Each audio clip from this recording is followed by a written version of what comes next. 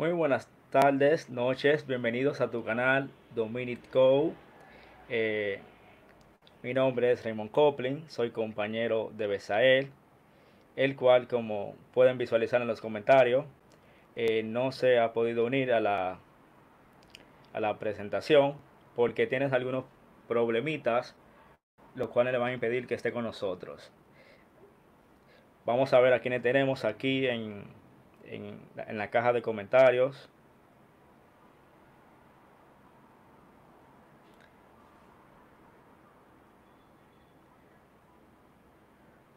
Un saludito para Gudier Cobón, fiel,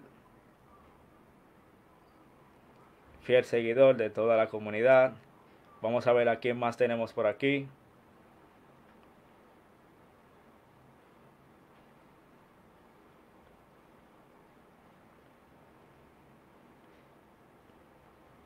También tenemos a Josué Chicas desde El Salvador. Un saludo también para ti. Vamos a ver a quién más tenemos. También tenemos a Mijail González, un gran seguidor de la comunidad de Engie Dominican. Vamos a ver. También tenemos a Félix García desde, Colombia. Un saludo para ti. Jairo Cuartas. Orlando. Jorge de Angelo. Un gran saludo para todos. Bien, entonces, para los que no me conocen, mi nombre es Raymond Coplin y hoy le, voy a estar impartiendo una charla sobre programación reactiva. Eh, en el día de hoy vamos a impartir eh, desde la base fundamental hasta cómo podemos mejorar eh, nuestra experiencia de usuario dentro de nuestra aplicación utilizando la programación reactiva. Bien, confírmeme por favor en el chat si mi audio se escucha bien.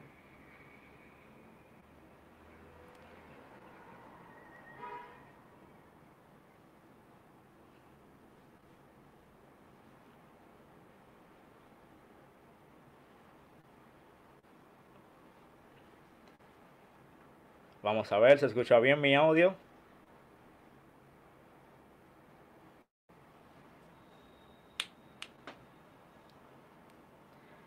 Bien, ahí dice Orlando Manuel que se escucha excelente.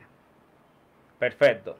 Entonces voy a compartir mi pantalla y vamos a empezar inmediatamente con nuestra presentación.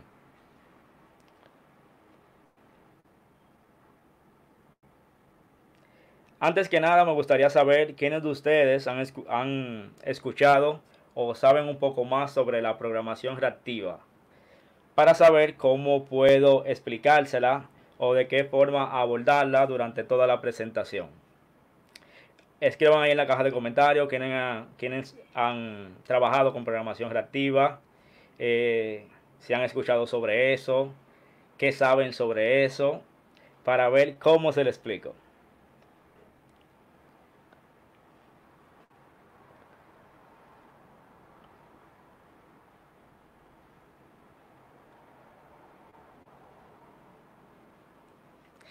También si pueden ayúdenme, ayúdenme a compartir el enlace para que más personas se puedan unir. Lo pueden enviar por ahí, por Twitter, Facebook, por cualquier parte. Bien, ahí comenta Orlando que lo ha escuchado. Dice Orlando que apenas está empezando en Angular. Bien, entonces prácticamente en el día de hoy eh, van a aprender, van a poder asimilar todo esto sobre la programación reactiva. Entonces, mi charla se titula Construye mejores experiencias de usuarios con programación reactiva. Eh, si se fijan, aquí yo nombro y resalto varias cosas que ustedes lo pueden ver como totalmente diferentes, que es la experiencia de usuario y, que, y la programación reactiva. Lo pueden ver aquí. Bien, se ve totalmente diferente, pero son cosas que van, como quien dice, de la mano. Y ya verán por qué. Antes que nada, permítanme presentarme. Mi nombre es Raymond Coplin, soy compañero de Besaer. Él también me acompaña a mí en la comunidad, en los eventos Angular 9. Eh, soy ingeniero de software, soy dominicano, como pueden ver aquí en esta banderita. Eh, soy fundador de la comunidad Angular Dominicana, la cual es un espacio que reúne a todos los desarrolladores Angular y de tecnologías web de la República Dominicana.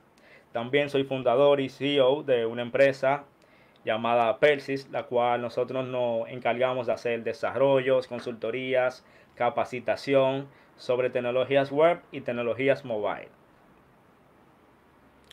Bien, la agenda que tenemos para el día de hoy es la siguiente. Eh, vamos a ver eh, unos cuantos conceptos y luego vamos a pasar a trabajar con lo que es la programación reactiva en la práctica. Eh, vamos a pasar a crear observables, vamos a usar operadores y vamos a transformar todo un caso de uso de una, de una simple caja de texto a llevarlo a su parte más óptima utilizando la buena práctica y los operadores de la programación reactiva. Bien. Dentro del temario que tenemos están los streams de datos, la iOS, la programación reactiva, vamos a ver observables y operadores y al final una pequeña demo. Bien. Entonces, iniciemos. Lo primero y lo esencial que deben de saber es que es qué es los streams de datos. Yo sé que ustedes, por ejemplo, ven Netflix. Yo sé que ustedes, por ejemplo, utilizan los aplicativos de Microsoft como Office, como Excel, que es una hoja de cálculo. Todo eso tiene programación reactiva.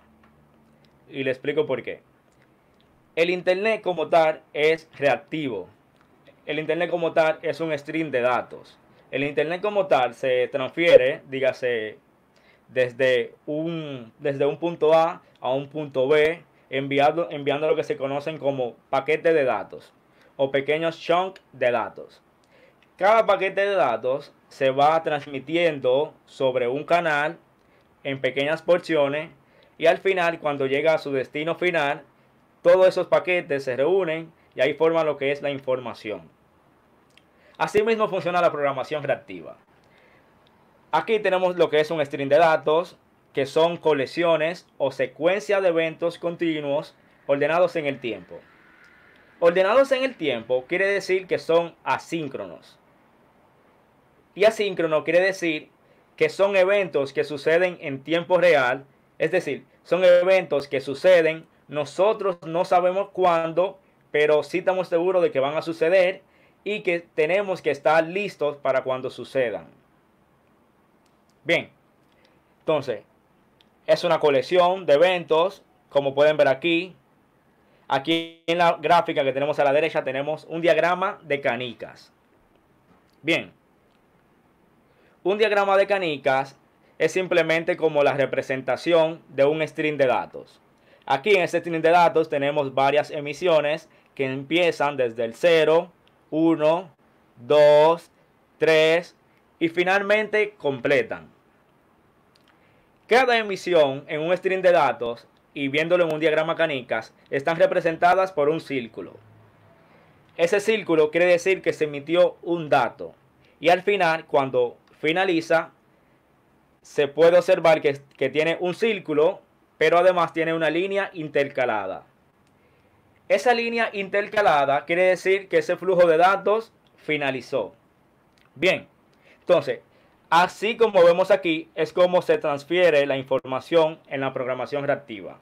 Se transfiere en el tiempo, por ejemplo, 0, 1, 2 y 3, y cada emisión de esa se va sobre un mismo canal y va llegando todas esas emisiones.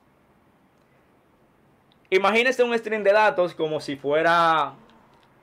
Imagínense que están en el regadero de su casa y que están haciendo la limpieza de su hogar.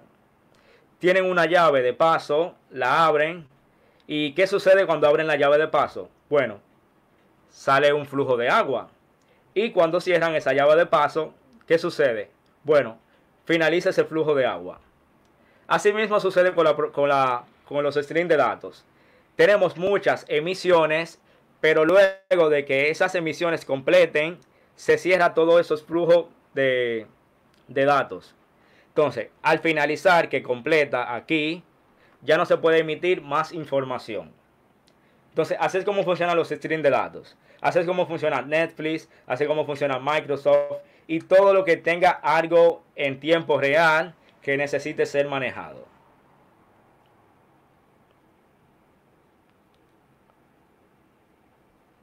Bien.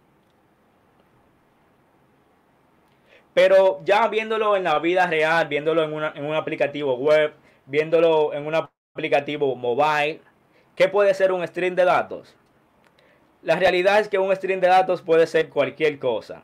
Por ejemplo, un stream de datos pueden ser los eventos de la UI. Imagínense que tenemos un aplicativo y que tenemos un botón. Cada vez que hacemos clic en ese botón, estamos haciendo una acción. Esa acción, como es asíncrona, como es en tiempo real, como no sabemos cuándo va a suceder, la podemos manejar como un string de datos. También, por ejemplo, cuando escribimos en una caja de texto en la web, cada pulsación que hacemos en el teclado, eso genera un evento. Y cada evento de eso puede ser manejado, puede ser manejado como un string de datos. Bien, también tenemos otro ejemplo aquí que son las peticiones HTTP a un servidor. Esas peticiones también son en tiempo real y son asíncronas. ¿Por qué? Porque nosotros la invocamos pero no sabemos cuando el servidor nos va a dar la respuesta. Es decir, nosotros hacemos la petición y le pasamos un callback o un bloque de código para que cuando el servidor responda, entonces nosotros obtener la respuesta. Eso puede ser visto como un string de datos. También están los WebSockets, que son muy conocidos cuando queremos trabajar con data en tiempo real. Los WebSockets son como un protocolo de comunicación en el cual tenemos una conexión vía socket, la cual nos va emitiendo información en tiempo real. Y cada vez que esas emisiones se emitan, nosotros la capturamos, dígase en el front, y hacemos algo con esa emisión.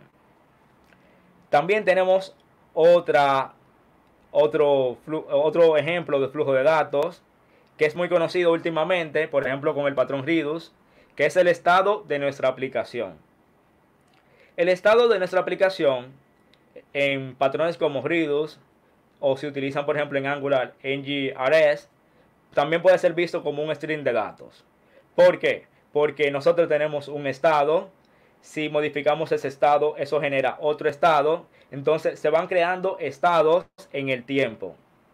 Entonces, como tenemos muchos estados en el tiempo, nosotros podemos decidir si, quedan, si quedarnos con el último estado o seleccionar el estado eh, penúltimo o el antepenúltimo y así nos podemos mover dentro de ese flujo de datos. Bien. Eh, recuerden que pueden hacer sus preguntas aquí en la caja de comentarios y cuando finalicemos vamos a responder todas esas preguntas. Bien, entonces, también déjenme claro si, pudieron entender lo que es un stream de datos y de qué trata todo esto de los eventos continuos.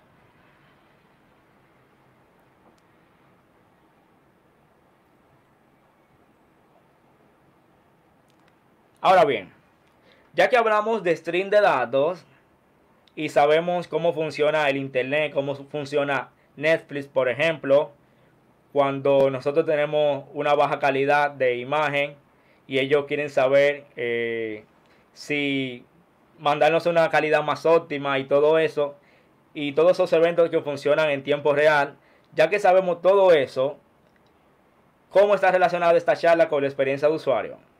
Lo vamos a ver ahora. Bien, antes que nada, permítanme explicarles qué es, qué es la experiencia de usuario.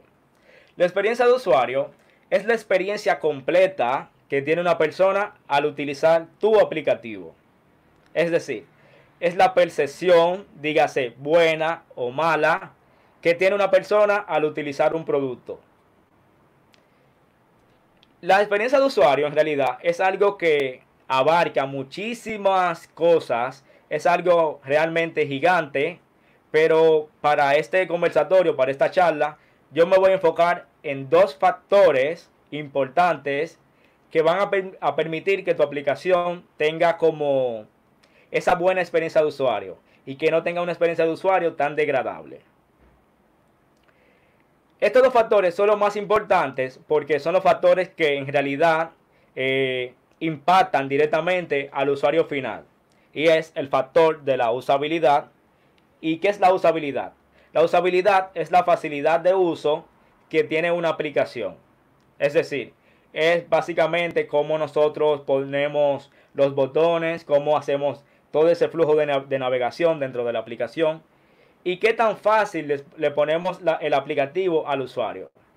La usabilidad también tiene que ver con la parte psicológica, porque ahí se estudia todo eso que el usuario puede eh, percibir como bueno o malo.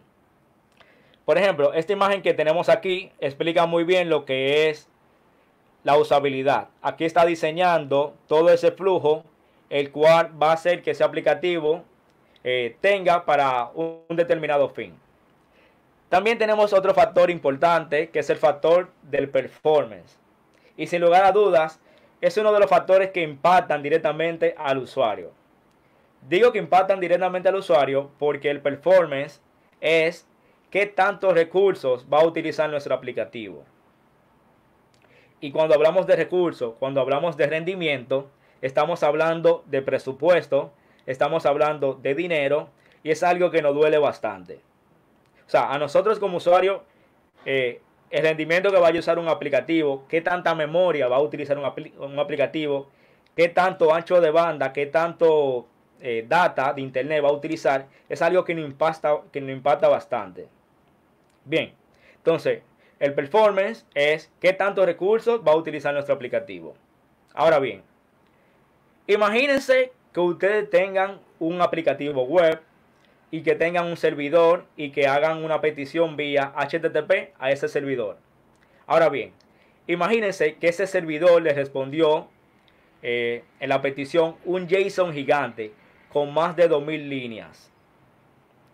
¿Qué va a suceder? Bueno, lo que va a suceder es que nuestro aplicativo va a tener que tener la memoria adecuada para poder procesar ese JSON gigante.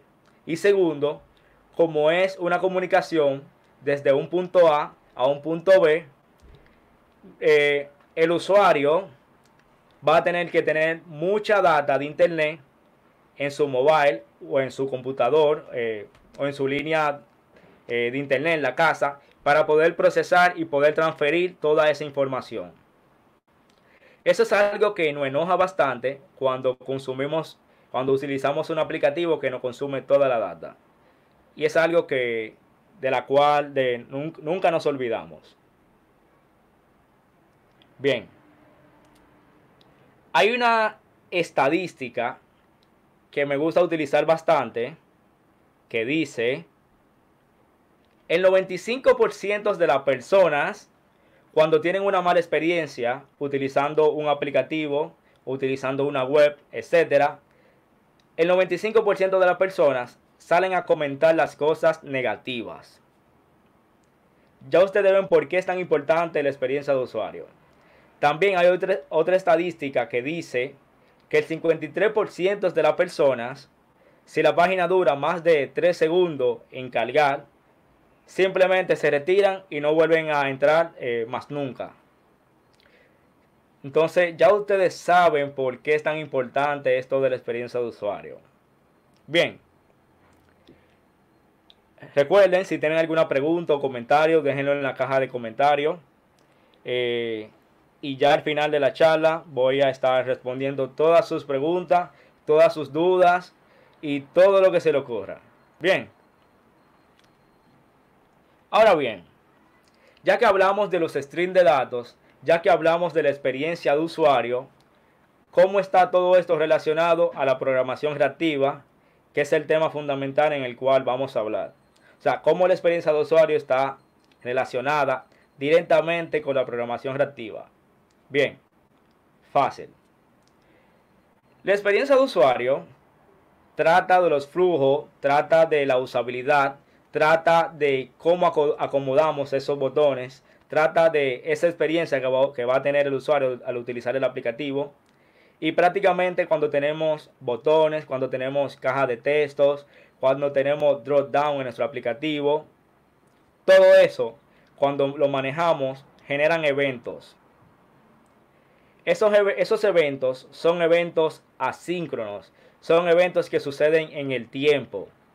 Entonces, hasta no hace mucho, cuando no existía la programación reactiva o cuando no estaba como muy de moda, muy utilizada en lo que es la web o las aplicaciones mobile, no teníamos las herramientas para hacer una buena gestión en el desarrollo y no teníamos buenas herramientas para hacer la gestión en esas acciones asíncronas que nosotros generamos en el aplicativo.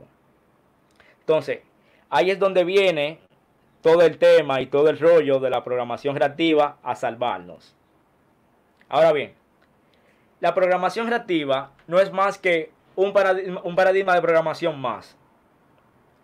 Es un paradigma de programación así como lo es la programación funcional, así como, como lo es la programación orientada a objetos, así como es la programación estructurada. Es un nuevo paradigma de programación. Ahora bien, este paradigma de programación está elaborado por esta fórmula mágica que vemos aquí. La programación reactiva es igual al paradigma de la programación funcional más al, el patrón observer más el patrón iterador.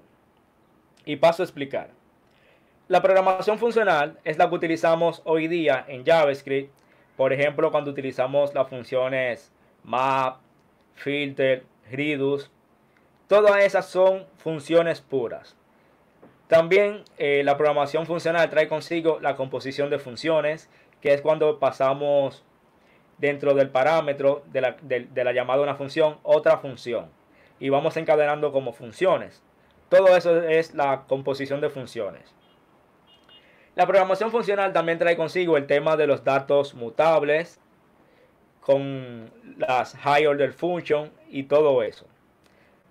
También tenemos el patrón observador, que es importantísimo porque ese trae consigo todo el tema de los observadores, de los observadores, de las suscripciones y todo esa como toda esa lógica, todo ese pensamiento reactivo es que trae consigo el patrón observer. Bien. También tenemos el patrón iterador, que el patrón iterador eh, lo tenemos en muchísimos lenguajes. Yo sé que esa palabra iterator la hace conocida. El patrón iterador es lo que trae consigo como esa lógica para nosotros poder eh, recorrer colecciones de datos. Y eso es lo que trae el patrón iterador. Ahora bien, ¿para qué no funciona la programación reactiva? ¿Cuáles son los objetivos de la programación reactiva? Bueno, primordialmente, son dos objetivos. El primer objetivo es propagar los cambios en un software requiriendo la menor cantidad de esfuerzo posible. Imagínense que tenemos un servicio de Angular y que también tenemos cinco componentes. Nosotros podemos hacer una sola programación en el servicio de Angular y que podamos hacer emisiones y que cada emisión se comunique con esos cinco componentes. Y así podemos hacer como esa propagación del cambio en la aplicación sin necesidad de utilizar patrones engorrosos como Redux, como Flux, etc. También tiene otro objetivo primordial que es hacer más sencillo el proceso de trabajar con flujos de datos asíncronos. ¿Cómo es todo esto? Bueno, hoy día en JavaScript tenemos algunos, eh, funciones como la función mat, filter, redos, que son funciones que nos permiten trabajar con colecciones de datos. Pero la diferencia de esto en programación creativa y esas funciones de JavaScript es que esas funciones solamente nos permiten trabajar con colecciones estáticas. Es decir, arreglos simples, arreglos básicos. Ahora bien, en la programación reactiva manejamos colecciones de datos, pero son colecciones de datos asíncronas. Son colecciones de datos en el tiempo que van cambiando en tiempo real. Entonces la programación reactiva nos da las herramientas para nosotros poder hacer una buena gestión de esas colecciones asíncronas. Bien. Recuerden, si tienen preguntas o comentarios, lo pueden dejar ahí en la barra y en la, en la caja de texto. Y al final, al finalizar la charla, le voy a responder todas sus dudas sobre la programación reactiva. Bien.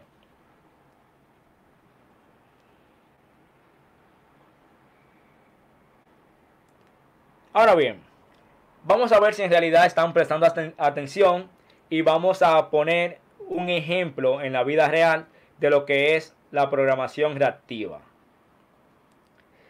Voy a hacer una, dinámica en la cual yo le voy a decir una frase y ustedes me van a responder qué escucharon. Vamos a ver. Ok, entonces, de eso trata, eh, de eso trata la, la dinámica. Le voy a decir una frase y ustedes me van a decir qué escucharon. Entonces, la frase que le voy a decir es, la programación reactiva es mágica. Entonces, escriban ahí en el chat lo que escucharon. Digan en el chat la frase que yo dije.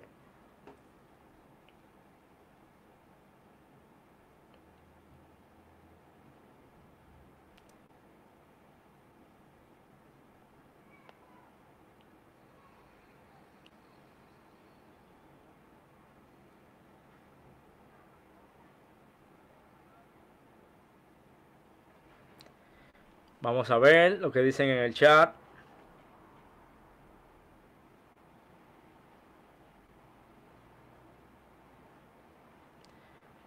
Ok, hay un pequeño delay, pero ya están llegando los, los mensajes. Bien, ahí dice Orlando que la programación creativa es mágica. También dice Ricardo Balvin que la programación creativa es mágica. También dice Javier Albarracín que la programación creativa es mágica. Bien. Aquí están todos los comentarios. Y prácticamente de eso trata la programación reactiva. O sea, de eso trata lo que es los observador. Los observador es simplemente la representación de un string de datos. Donde hay eh, un canal de comunicación que es el mismo flujo de datos. Hay un subject, que es el emisor, que viene siendo yo. Es decir, yo soy el emisor, el cual estoy impartiendo la charla. Todos ustedes que me están respondiendo aquí son los observadores a los cuales le está llegando el mensaje eh, de una forma excelente. Ahí pueden ver que todos los que están aquí entendieron el mensaje. Entonces, de eso mismo trata los observadores. Los observadores es la representación de una relación de uno a muchos. O sea, hay un emisor que soy yo y hay muchísimos observadores que son todos ustedes que están escuchando esta charla desde su hogar. Entonces, dentro de esa, de esa colección de observadores y dentro de ese emisor que está aquí arriba, está todo un flujo de datos que es cada una de las palabras que yo le estoy transmitiendo. Imagínense que este 0, 1, 2, 3, que es el string de datos que vimos anteriormente, son las palabras las cuales yo les transmití. La programación reactiva es mágica. Ese flujo de datos, esas emisiones, le llegó a cada uno de ustedes que son los suscriptores. Y prácticamente y de una forma sencilla, eso es la programación reactiva. Esa colección de uno a muchos. Entonces, por eso es que cuando utilizamos programación reactiva, se nos hace bastante fácil hacer lo que es la propagación del cambio en el aplicativo o en la aplicación. ¿Por qué? Porque simplemente hacemos un observable, que es este que está aquí arriba, y aquí debajo, aquí debajo ponemos todos los componentes que son los suscriptores.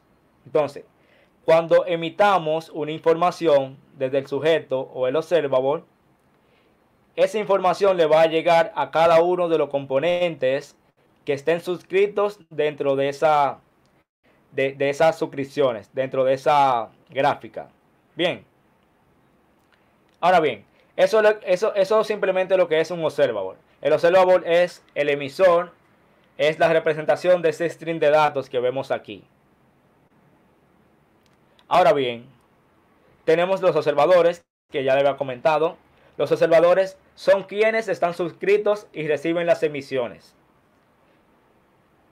Aquí tenemos a los observadores, observador 1, observador 2, observador 3. Podemos tener infinitos observadores. Y la tarea de esos observadores es simplemente escuchar al observador que está aquí arriba y recibir cada una de esas emisiones. Bien. Ahora bien, dentro del observador y dentro de los observadores existe una conexión, que es esta que estamos viendo aquí, por donde bajan cada una de las emisiones.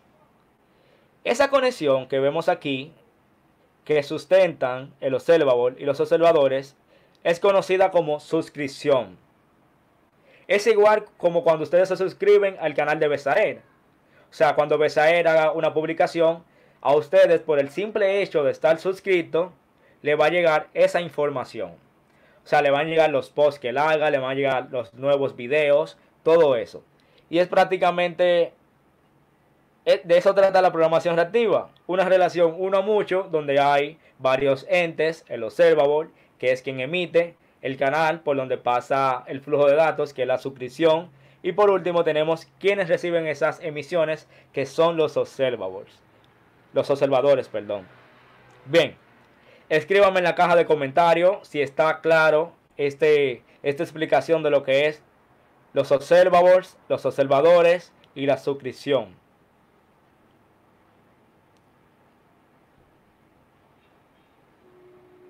Ahora bien, vamos a ver lo que es un poco de código que yo sé y estoy seguro que a ustedes les encanta ver lo que es live coding. Eso le da como la adrenalina a toda la charla cuando hacemos eh, programación en vivo ahí en tiempo real con ustedes.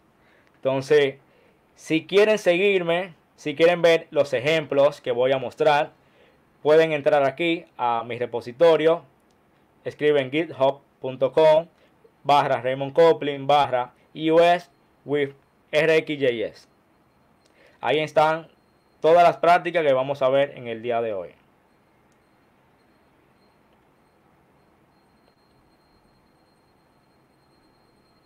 Bien, para explicarle de una forma eficaz lo que es la programación reactiva, aquí yo voy a utilizar un visualizador.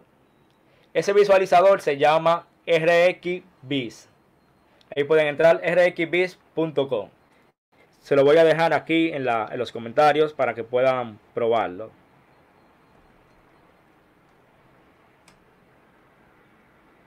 Bien, ahí lo envié.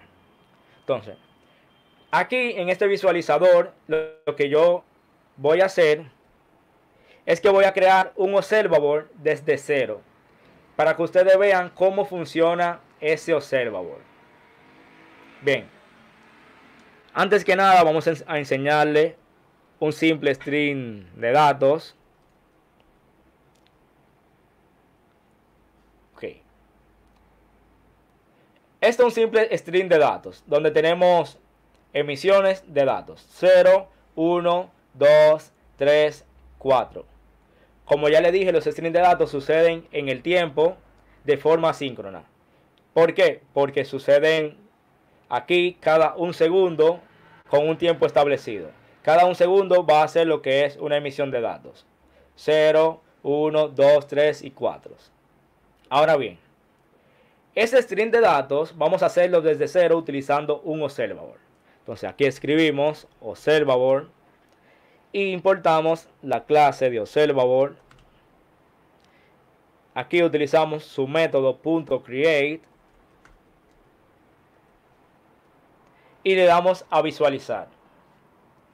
Aquí cuando yo le di a visualizar, como pueden ver, pues como pueden comprender, tenemos un string de datos vacío. O sea, no hay ninguna emisión aquí. No vemos ningún círculo, no vemos que completa, no vemos que da un error, no vemos nada. Eso sucede porque ese observador no está emitiendo información. ¿Qué vamos a hacer ahora? Vamos a emitir información. Para emitir información, todos los observables tienen un ente llamado productor. El productor es el encargado de hacer las emisiones. El productor también es el encargado de completar y finalizar ese flujo. Y el productor también es el encargado de notificar cualquier error que suceda en el flujo. Bien, entonces aquí en el productor vamos a escribir producer y le vamos a, pasar un callback. Vamos a pasarle aquí un bloque de código para decirle qué vamos a hacer dentro de ese string de datos. Aquí decimos producer punto y aquí vamos a utilizar un método que tienen los productores para emitir información. Ese método es el método NES. Si aquí decimos emisión 1 y le damos a visualizar, aquí pueden ver que él emitió el primer dato. Aquí dice emisión 1.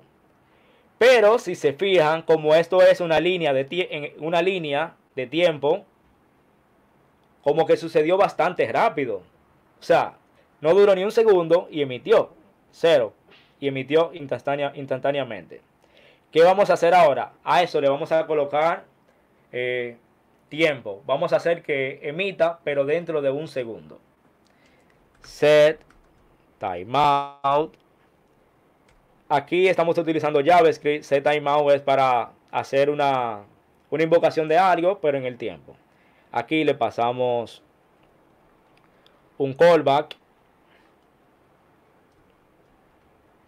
Y aquí le decimos dentro de qué tiempo vamos a invocar ese callback. Ahí le decimos que lo invoque en el segundo 1. Vamos a ponerlo más pequeño. Ok, aquí. Entonces, set, timeout. Él va a invocar este bloque de código, pero cuando suceda un segundo.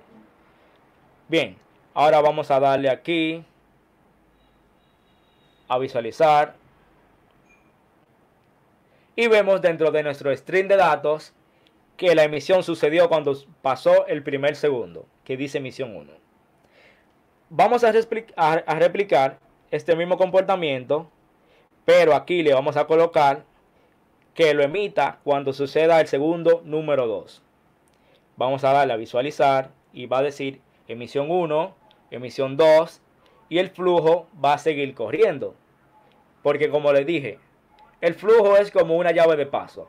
Mientras esté abierto, va a salir el flujo de agua, pero cuando lo cerremos no se va a permitir emitir más información.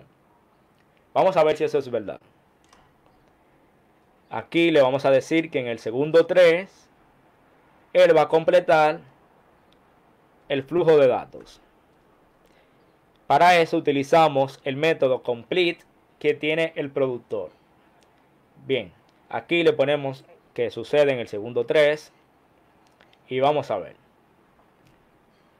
emisión 1, emisión 2 y como pueden visualizar aquí, hay una línea intercalada que quiere decir que ese flujo de datos finalizó. Ahora vamos a ver algo. Yo le he dicho que cuando finalice el flujo de datos no se puede emitir más información.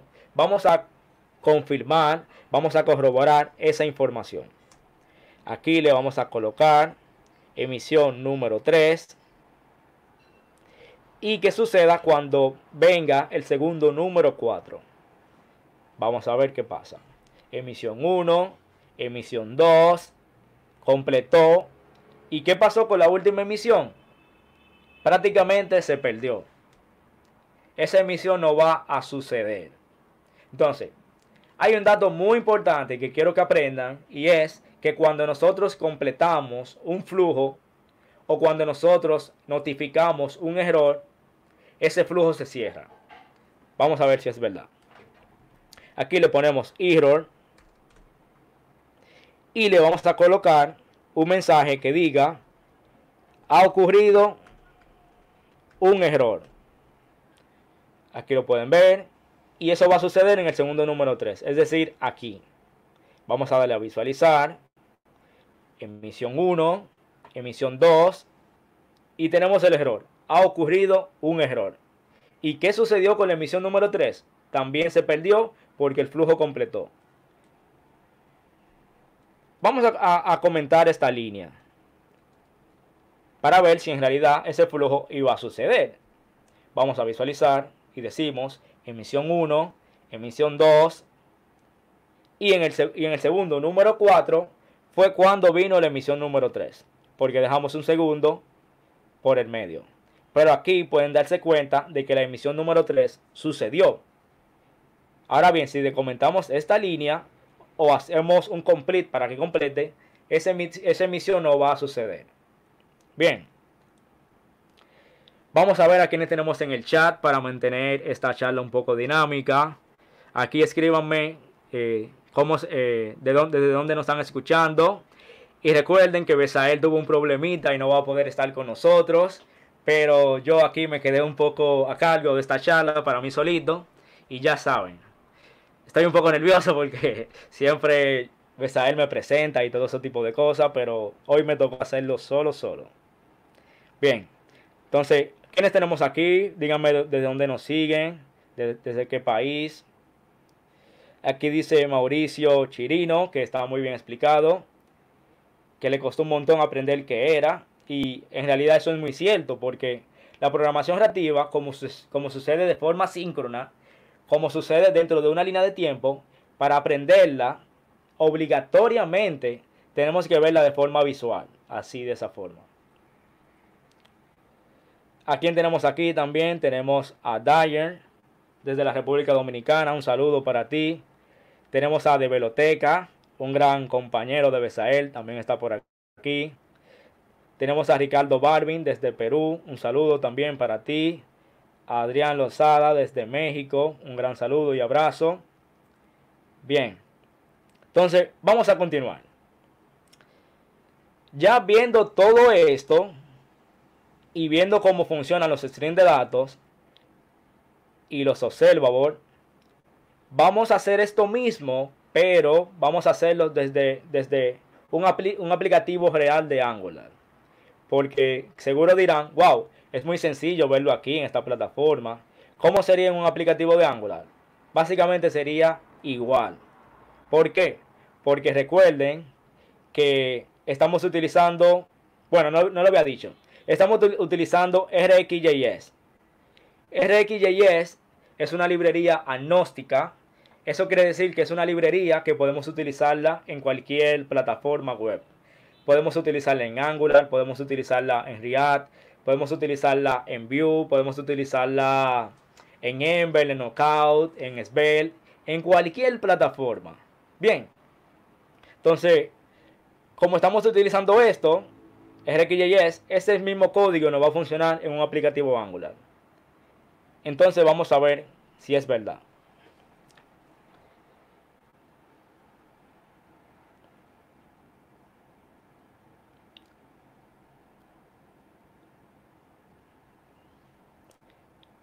Para seguir lo que es el demo, yo le había compartido ahí un repositorio.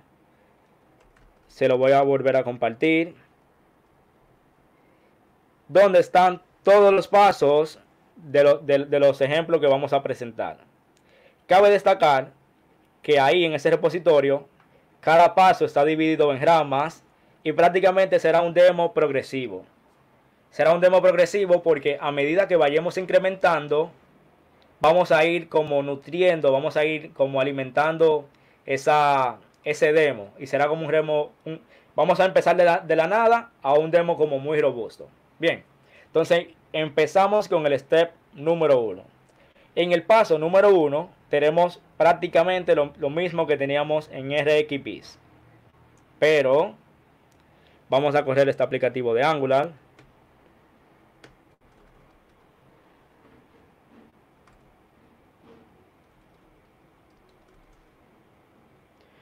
Eso está en Precis.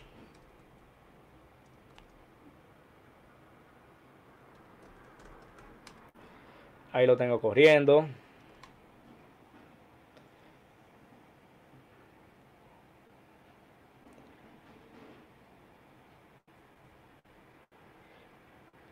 Vamos a abrirlo aquí.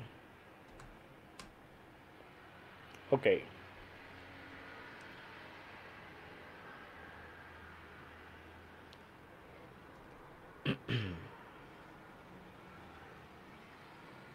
Bien. En primera instancia, el demo está vacío. Aquí vemos una página en negra, con un background negro. Está todo vacío. Bien, aquí tenemos la consola, también está vacía. ¿Qué vamos a hacer? Bueno, aquí tenemos nuestro observador y lo estamos asignando a esta variable que se llama myObservable. Esa variable vamos a utilizarla y nos vamos a suscribir a ese observador. Cuando nosotros nos suscribamos a ese observador, cada una de estas emisiones la podemos obtener y hacer lo que queramos con esas emisiones. Entonces aquí decimos punto subscribe. Subscribe es un método que tienen los observadores, los observadores, para poder suscribirnos a él y que, cada una de esas emisiones podamos capturarla.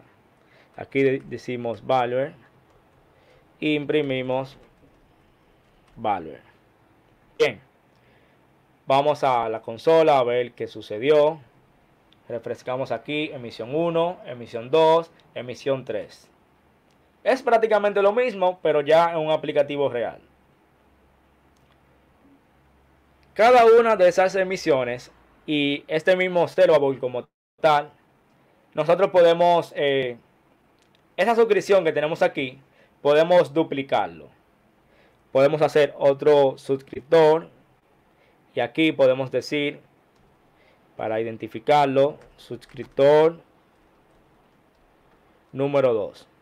Aquí le ponemos suscriptor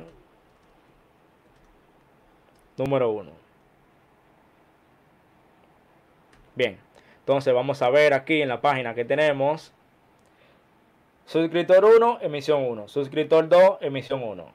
Bien, aquí esto fue la primera emisión. Ahora vamos con la segunda emisión. Suscriptor 1, emisión 2, suscriptor 2, emisión 2. Esta fue la segunda emisión. Ahora vamos con la tercera emisión. Suscriptor 1, emisión 3. Suscriptor 2, emisión 3. Bien. Lo que estamos viendo aquí es que cada una de esas emisiones la, pudimos capturar con esos suscriptores.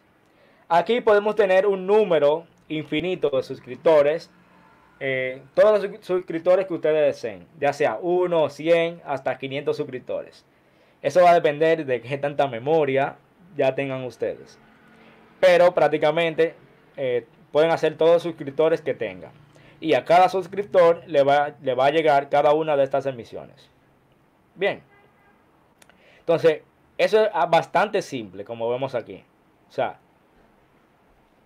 Ahora vamos a adentrarnos en algo como un poco más difícil, en algo que es como el foco de, esta charla, y es los operadores y cómo los operadores puede como ayudarnos a hacer como esa buena, esa buena gestión de, la, de los eventos de la página. Pero antes de todo, ¿qué son los operadores? Los operadores son funciones que nos permiten gestionar, filtrar, o transformar un observador X en un nuevo observador. Eso quiere decir que si tenemos, por ejemplo, un observador que hace tres emisiones, 1, 2 y 3, si le agregamos un operador a esa cadena, nosotros podemos agarrar cada una de esas emisiones y transformarla en algo nuevo.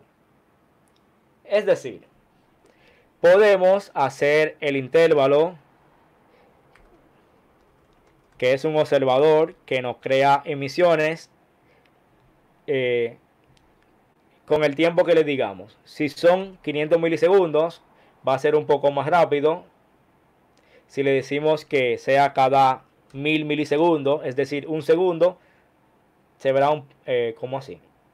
Bien, ahora bien, cada una de esas emisiones la podemos capturar y transformarla utilizando los operadores. Aquí le agregamos un operador que se llame take. Ese operador de take lo que hace es que si tenemos cuatro emisiones, bueno, aquí tenemos cinco emisiones, le podemos decir simplemente captúrame dos emisiones. Aquí le decimos captúrame dos emisiones. Si le damos a visualizar, entonces 0 y 1. Y finalmente completa. Entonces, ahí vieron como yo tenía este observador que hacía 5 emisiones y pasamos a tener un observador que simplemente, que simplemente hace dos emisiones. O sea, transformamos el original y creamos uno nuevo. Para eso funcionan los operadores. Bien, ahora lo que podemos hacer es agregarle más operadores. Aquí simplemente ponemos una coma y podemos decir el operador, eh, vamos a ver, map. El operador map es un operador de transformación. El, operador map lo que nos permite es que podamos capturar cada una de esas emisiones y crear una nueva emisión.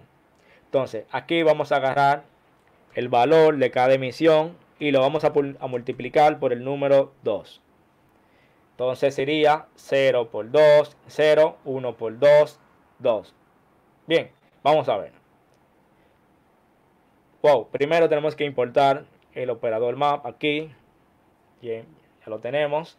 Y decimos 0 por 2, 0, 1 por 2, 2. Vamos a ponerlo un poco más largo. Vamos a tomar 4 emisiones y esas 4 las vamos a multiplicar aquí en el operador map. 0 por 2, 0, 1 por 2, 2, 2 por 2, 4, 2 por 3, 6. Y vieron cómo pasamos de esto Ahí vieron cómo pasamos de esto. 0, 1, 2, 3, 4. A tener estos.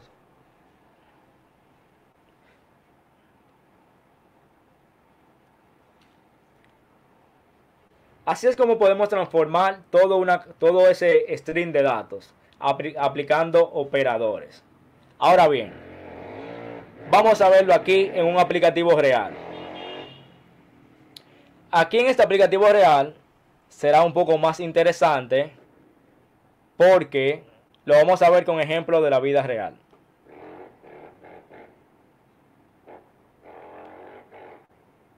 Ok. Vamos a guardar y vamos a verlo aquí.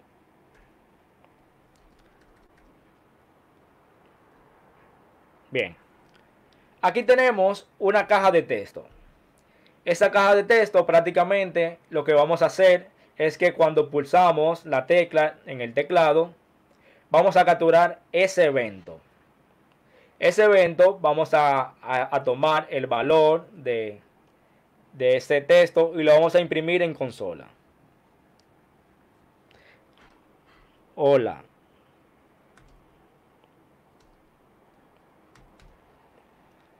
Ok. Y aquí se puede visualizar. Si escribimos mi nombre, Raymond, ahí pueden ver cómo él registra cada uno de los eventos y me imprime cada uno de esos valores. Ahora bien, ¿cómo yo logré eso?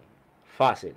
Yo creé aquí, yo coloqué un observador llamado from event, el cual recibe un elemento de HTML y separado por coma le decimos qué evento de ese HTML queremos registrar.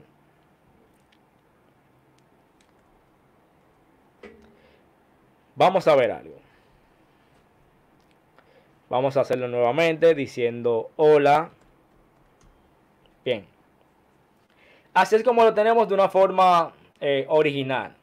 El evento que eso produce se llama Keyboard Events. Y ese evento, Keyboard Event, tiene muchísima metadata. Pero la que en realidad nos interesa está dentro de Target y luego está en, en valor, en Valued, que está por aquí debajo. Pero ahora, ¿cómo nosotros podemos llegar a esa propiedad si tenemos que entrar a un objeto, tenemos que entrar a una propiedad, etcétera? Bien, para eso utilizamos este operador map. Y ese operador map, nosotros le pasamos ese callback y accedemos a esa propiedad llamada valor. Entonces, eso lo que va a hacer es que nos va a producir una nueva salida. Ahora es muy diferente si yo digo si yo digo hola, porque simplemente nos va a dar el resultado deseado. Pero eso no se queda ahí. O sea, a eso que nosotros tenemos aquí, podemos seguir agregándole un montón de cosas más. Vamos a pasar al paso número 3. Donde tenemos algo más o menos así. ¿Cuáles fueron los cambios que hicimos aquí dentro de la cadena de, operadores? Bueno, tenemos esto, que es prácticamente lo mismo, pero le agregamos el operador Merge Map. Vamos a ponerlo un poco más grande para que se pueda ver. Aquí le agregamos el operador Merge Map. El operador Merge Map es un operador, un operador de transformación que nos permite nosotros poder eh, resolver un observable y emitir el, emitir el resultado de ese observable. Para eso aquí yo estoy utilizando la clase HTTP Client que tiene Angular y a esa clase HTTP Client estoy llamando su método get y le estoy diciendo de qué REST vamos a a, llamar esos valores. Si vemos aquí, estoy utilizando esta REST que se llama JSON Placeholder. Es gratis, la pueden utilizar. Es simplemente una colección de objetos de usuarios, donde tenemos el, el name, el username, el, el email, etc. Entonces, esta es la que vamos a utilizar. Entonces, Aquí con la clase de, ya, de Angular estoy llamando con el método get a ese API y le estoy pasando unos criterios. Y esos criterios van a ser lo que yo estoy escribiendo con el teclado. Entonces vamos a ver.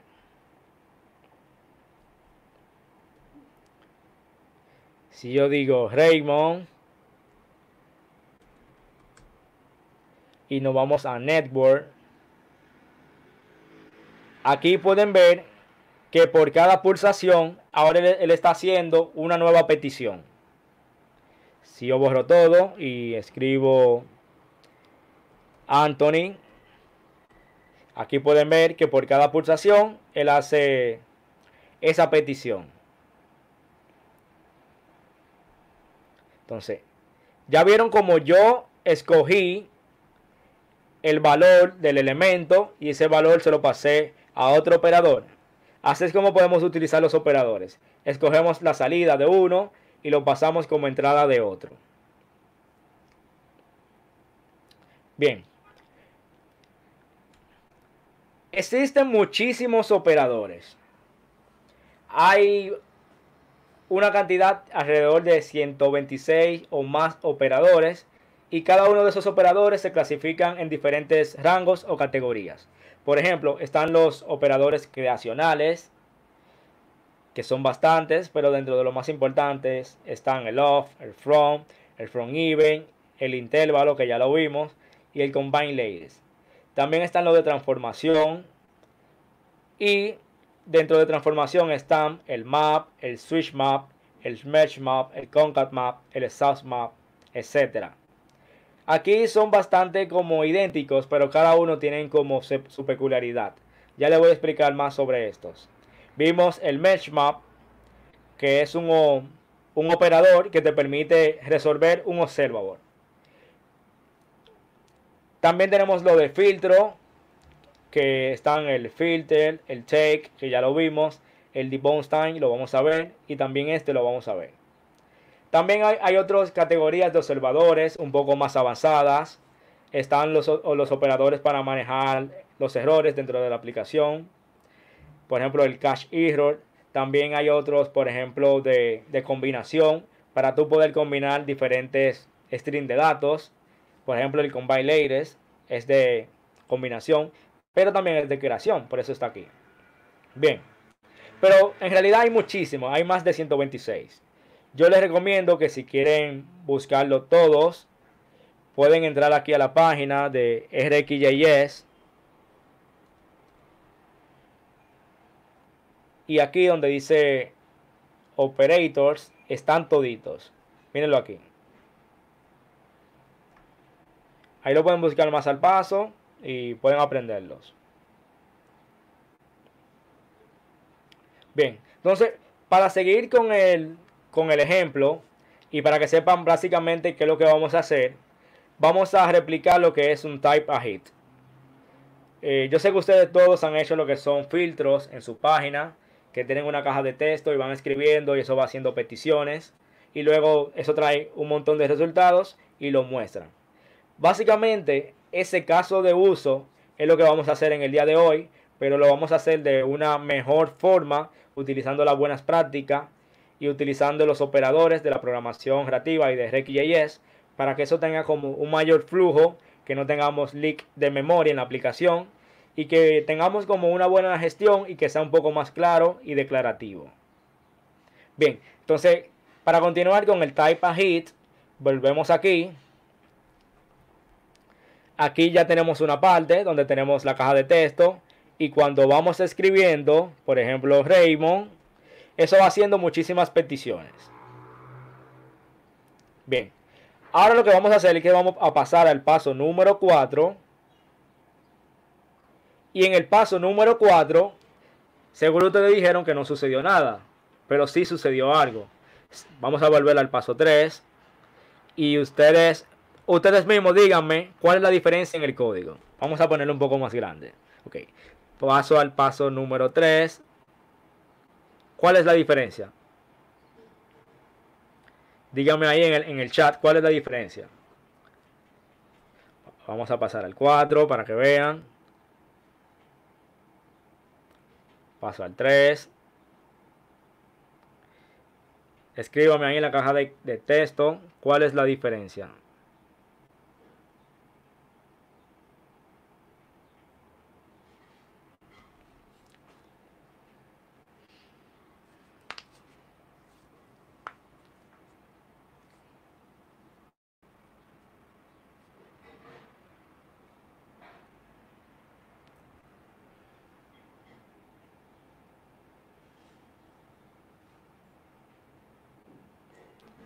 Bien, ok, aquí están llegando los comentarios. Disculpen que hay un pequeño delay aquí. Pero dice Ricardo Barbin que el operador que usas, Merge Map y Switch Map, son diferentes. Aquí dice el operador Map, Merge Map y Switch Map. Aquí dice Carlos Sánchez, Switch Map y Merge Map. Y dice Orlando Manuel, el operador Switch. Exactamente. Eso es lo que está sucediendo. Aquí estamos haciendo un cambio. Anteriormente teníamos el operador Merge Map. Que el operador Merge Map, como funciona es que recibe el valor. O sea, recibe este observador. Y con ese observador toma el valor, lo utiliza y sigue con el flujo de datos. Pero ¿qué pasa?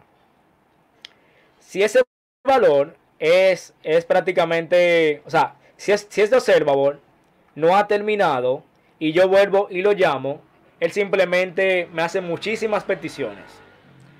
Por ejemplo, vamos a, a escribir rápido aquí para que vean. Aquí tenemos 51 requests. Y si, si, pueden ver, miren aquí donde se hicieron todos. Status 200. Vamos a escribir mi nombre. Raymond. Aquí se hicieron alrededor de 8 requests. Donde cada uno, si se fijan aquí, tiene un espacio. O sea, donde cada uno consume un poco de datos. Este consumió 525 bytes. Este consumió 95 bytes, 104 bytes.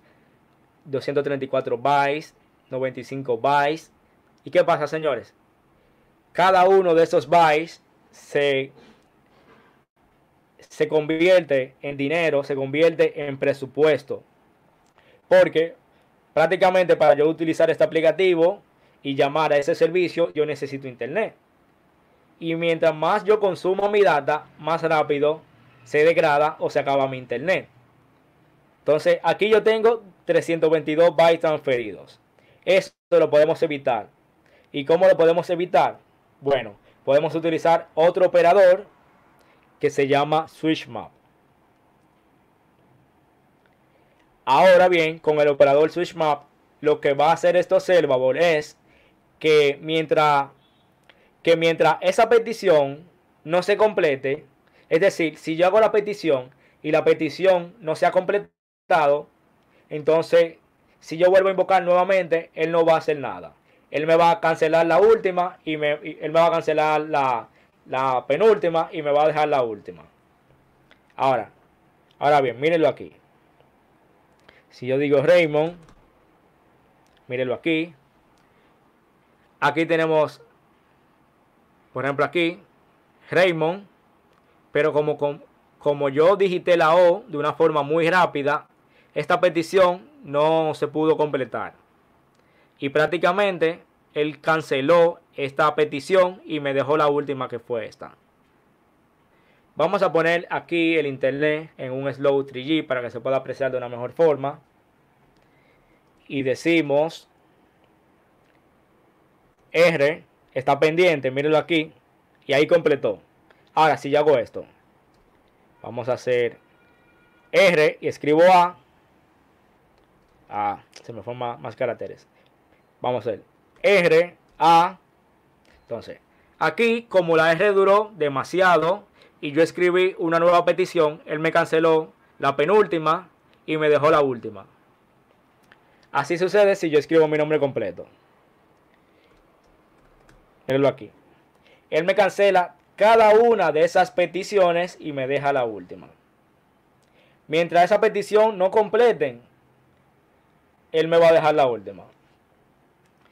Cosa que no sucede con el mesh map. El mesh map lo que hace que me hace como su nombre indica un mesh de todas las peticiones y no respeta como como esa duración que dure y nada de eso.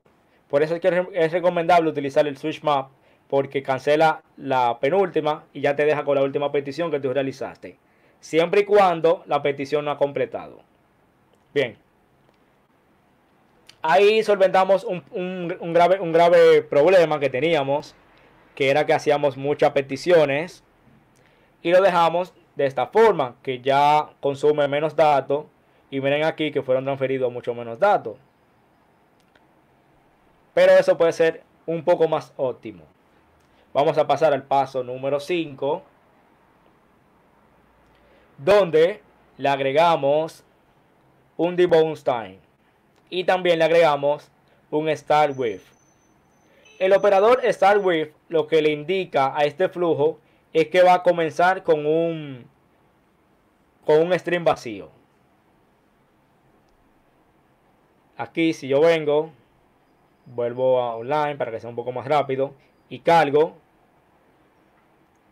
Aquí vieron que se ejecutó, pero yo no tenía, yo, yo no escribí nada, pero él ejecutó. Eso sucedió porque yo le especifiqué que empiece con un string vacío. Entonces, él entendió que yo como que yo pulsé un teclado, que yo pulsé el teclado, pero en realidad ese valor fue un espacio vacío. Bien. Luego le agregué otro operador que se llama debounce time. El operador debounce time es prácticamente un observador que hace como que ese flujo de datos tenga un pequeño delay. Es decir, si yo estoy escribiendo y yo estoy escribiendo muy rápido y no han pasado 800 milisegundos, entonces él no me va a hacer la emisión. Ahora bien, cuando yo deje de escribir, que pasen 800 milisegundos, entonces él va a continuar con estos operadores. Vamos a ver. Yo voy a escribir cualquier cosa aquí. Si se fijan, no, se ha, no se ha registrado ninguna petición, pero inmediatamente lo suelte, pasaron 800 milisegundos, él va a hacer la petición. Y ya que es diferente, porque si yo escribo mi nombre, él no tiene la necesidad de cancelar las otras peticiones, porque ya él va a hacer una petición cuando yo deje de escribir. Y eso a nivel de experiencia de usuario es magnífico, porque no le estoy consumiendo todos los datos a las personas. Y la persona va a tener como una, una percepción buena del aplicativo, porque va a decir, wow, consume, no consume nada de datos. Y eso se logra con programación creativa. Bien, entonces, para eso funciona el debounce time para decirle que dure un determinado tiempo y que cuando pase ese tiempo y yo ya no estoy escribiendo, entonces que continúe con estos operadores. Bien. También tenemos el paso número 6, donde agregamos un nuevo operador. Ese operador se llama distinct until chain. El operador distinct until chain lo que hace es que mientras yo no escriba nada nuevo, es decir, si yo me mantengo escribiendo la misma palabra, mi mismo nombre, si yo siempre escribo Raymond, entonces él no tiene por qué ejecutar la petición, si es lo mismo, porque se supone que ya yo tengo eso. Vamos a ver si es verdad. Yo escribo Raymond, hizo la petición. Si escribo otra D, es algo totalmente diferente y por eso la hacen. Ahora bien, si yo escribo Raymond, aquí lo tengo, Raymond, mírelo aquí, hizo la petición, le quito la D y le escribo nuevamente, mírenlo aquí. No se registra una nueva petición porque es básicamente lo mismo. Entonces, eso es lo que hace el operador distinct until change. Que mientras yo no cambie la palabra o ese criterio que yo escribí, él no tiene por qué hacer la petición. Escríbanme en la caja de comentarios si están entendiendo eh, la utilidad de esos operadores y cómo puede mejorar nuestra experiencia de usuario. Vamos a pasar al paso número 7, el cual es un ejemplo totalmente diferente y es un caso de uso que nosotros eh, aplicamos siempre dentro de nuestra programación. O sea, por ejemplo, en mi trabajo yo lo utilizo bastante porque trabajo en un banco y se hacen muchos procesos delicados. Un proceso puede ser como desembolsar un préstamo. Y imagínense que si yo tengo un botón y yo le doy dos veces sin querer, se haga dos veces ese desembolso de un préstamo. Eso es un error garrafal porque, o sea, yo simplemente quiero hacerle un clic al botón y que ya cuando yo le haga clic que no se vuelva a hacer más clic. Entonces es un buen caso de uso que quiero mostrarle. Entonces vamos a pasar aquí al paso número 7. Recuerden que esto ustedes lo tienen en el, en el repositorio que le compartí. Aquí pasamos al paso número 7. Vamos aquí a ver cómo se ve.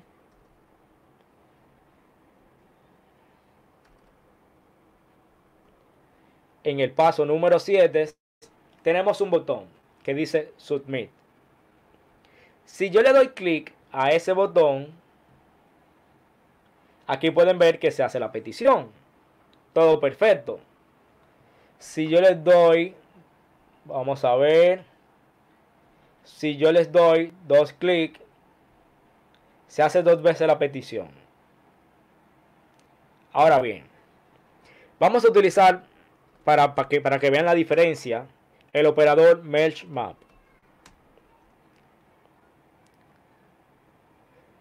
El operador Merge Map en realidad es, es, el que yo más odio, porque cada petición, él no importa como en qué orden se hagan, y simplemente él la va a hacer todas las que le digamos.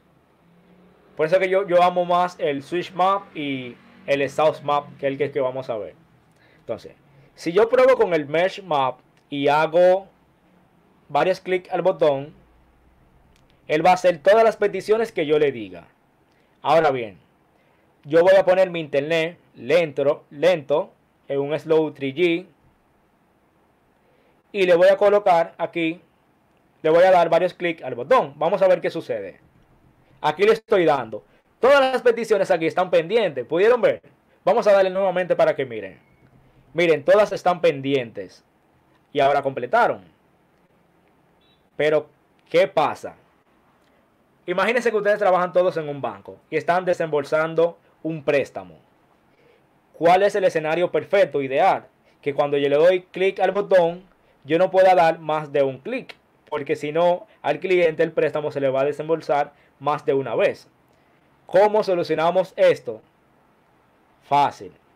Vamos aquí a cambiar el operador Mesh Map por otro operador de transformación que se llama Source Map. El operador Source Map lo que va a hacer que mientras esta petición no se complete, entonces él va a cerrar totalmente el flujo para que no se pueda emitir más clic. Mírenlo aquí. Vamos a mostrarle un poco el HTML para que vean.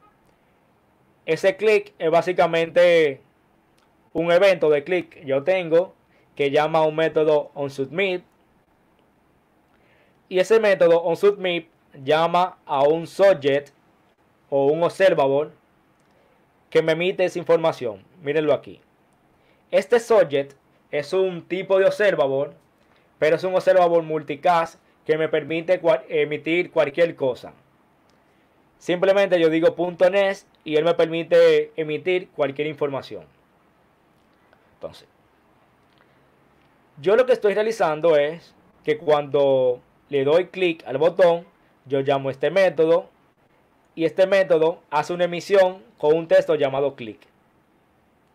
Ahora bien, aquí a este observable yo le agregué un pipe para poder pasarle varios operadores y transformar un poco el resultado final de, de, ese operador. Yo le agregué el operador SourceMap que lo que va a hacer que mientras no termine esta petición, mientras esta petición no termine, entonces él va a cerrar el flujo de los clics y yo no voy a poder realizar más clics. Vamos a ver. Vamos a ponerlo rápido para que cargue todo. Luego lo pasamos a lento.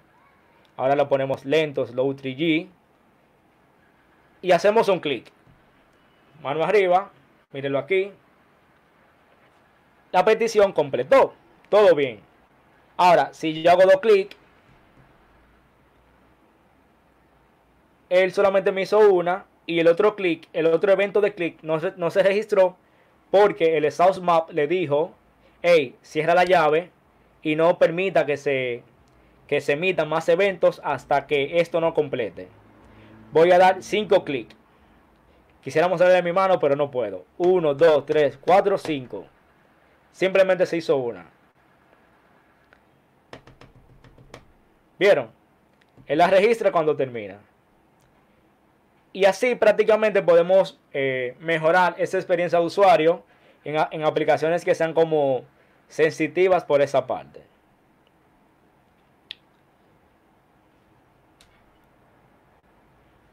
En resumen, ya para finalizar, eh, vimos lo que es los streams de datos, que no es más que esa, esa colección de eventos continuos que suceden en el tiempo de forma síncrona. También vimos lo que es la US, que es la percepción buena o mala que tiene una persona al utilizar nuestro producto. Vimos lo que es la programación reactiva, que es todo este paradigma nuevo que nos permite gestionar los eventos, nos permite gestionar la propagación del cambio en la aplicación y nos permite trabajar con datos asíncronos de una forma fácil. Vimos lo que es RxJS, que es la librería para trabajar con programación reactiva en JavaScript. Esa librería es agnóstica, que quiere decir que la podemos utilizar en cualquier plataforma. Dígase React, dígase Vue, dígase Angular, Sven, Ember, Knockout, AngularJS, cualquiera. Eso no tiene que ver con eso no tiene que ver con eso. En cualquier plataforma la podemos utilizar. y podemos hacer esos ejemplos que ya vimos. También vimos lo que son los observables y operadores.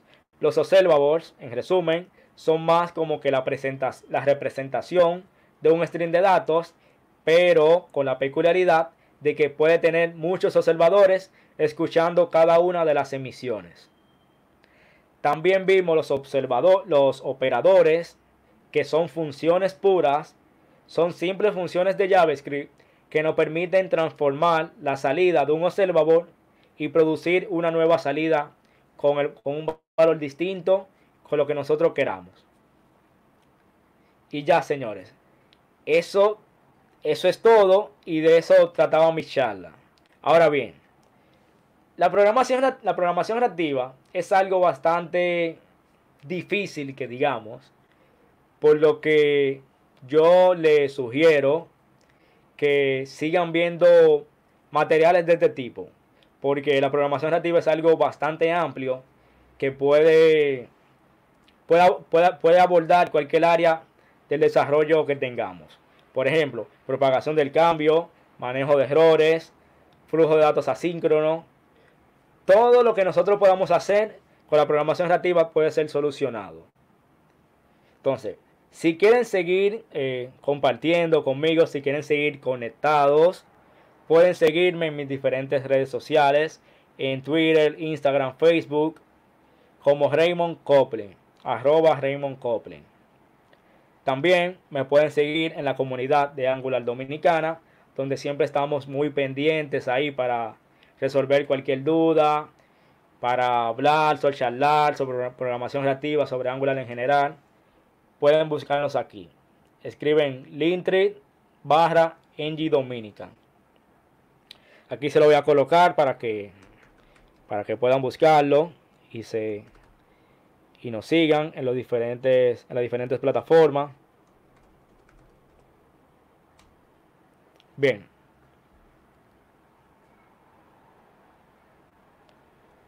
Vamos a ver.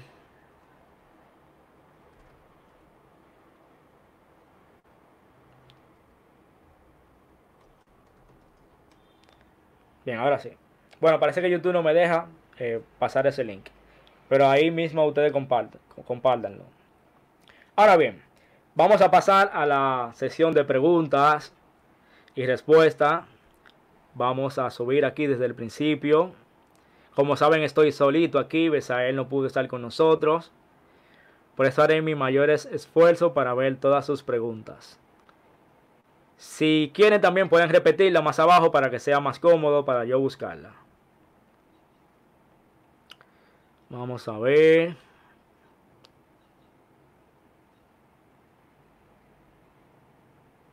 Bien, la primera pregunta es de Willy y dice, todo esto es posible con la implementación de observables. Pienso que él, él está hablando de, de, los ejemplos de los strings de datos que vimos. Y si es de ese ejemplo que vimos, sí es posible. O sea, Cualquier string de datos que tengamos en la aplicación, dígase los eventos de un botón, como vimos, los eventos de una caja de texto, petición a un servidor, comunicación a un WebSocket, el estado de nuestra aplicación y propagación del cambio. Todo eso es posible con la programación reactiva y los observables. Vamos a ver otra preguntita más. Pueden dejarla ahí en la caja de comentarios.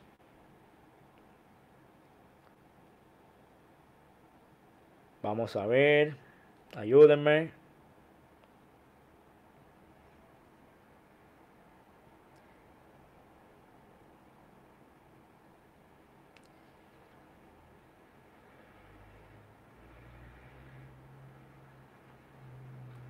Bueno, ahí dice Orlando Manuel que la explicación le ayudó bastante porque tenía una, una, una laguna con asincronía. Y te entiendo totalmente porque la programación reactiva es algo un poco difícil de entender, porque para aprenderlo hay que verlo de forma visual, como lo vimos, y ver cómo esos strings de datos se van emitiendo. Así que no es nada fácil, pero si le, si le ponen ganas, eh, pueden lograrlo. Saludos para Cristian David desde Honduras. Un abrazo para ti. Saludos para Dani Paredes desde España. Vamos a ver las preguntas, déjenla aquí abajo.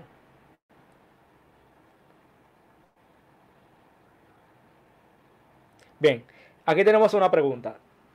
Dice, dice Lucho Gutiérrez, con ASIOS se puede utilizar igual, ya que en vez de HTTP estaba utilizando ASIOS.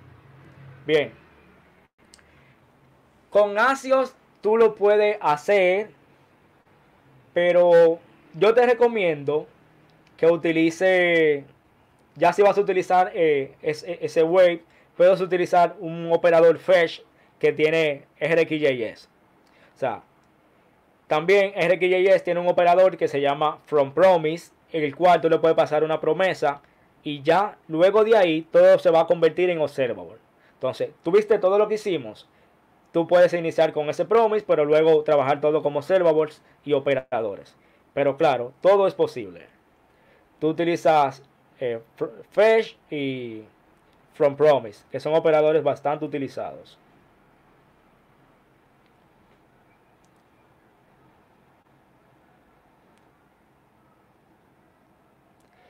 Aquí dice Jelin Beriwete que cuál es el framework de JavaScript más utilizado en República Dominicana. es una pregunta bastante difícil porque aquí en República Dominicana y en toda Latinoamérica, eh, eso depende. Pero sí de, en el área empresarial, en el área de aplicaciones empresariales, sí el más utilizado sigue siendo Angular. Porque por su robustez, por los módulos, por la inyección de dependencia, sigue como teniendo esa antorcha que le dice que es el más eh, es el más bueno, es el más eficaz para trabajar con aplicaciones empresariales. Ahora bien, una realidad es que hay muchas startups, hay muchas empresas pequeñas que están utilizando eh, librerías como React, que son un poco más mínimas, pero la, el problema con React es que al ser una librería, tú tienes que utilizar muchas librerías de terceros para hacer funcionalidades como formularios eh, y cosas así. En cambio, en Angular tú lo tienes todo integrado. Por eso yo, yo lo sigo recomendando más. Bien, ahí dice Carlos Sánchez, ¿qué utilidad aporta aprender los patrones observer e iterator? Bien, en realidad, si tú aprendes la programación reactiva como tal, ya estás aprendiendo el patrón observador y el patrón iterador.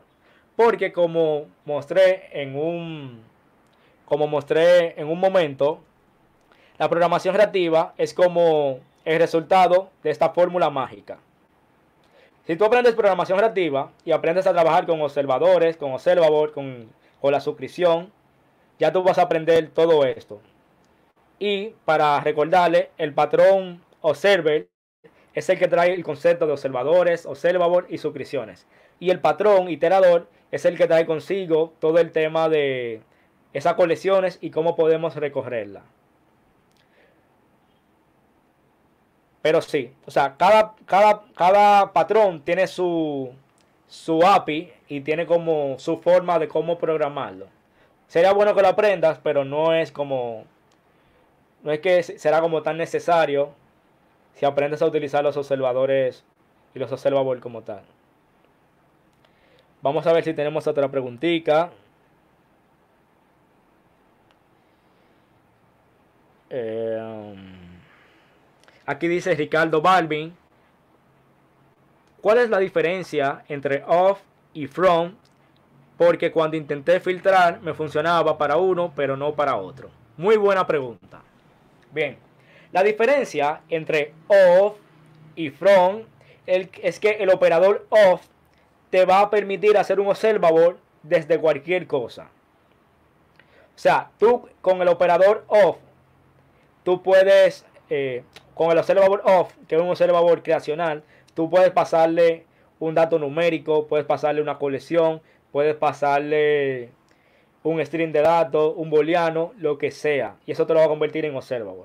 Ahora bien, el operador from actúa un poco similar, pero si tú le pasas una colección de datos, él te va a hacer eh, esas emisiones uno por uno de esa colección.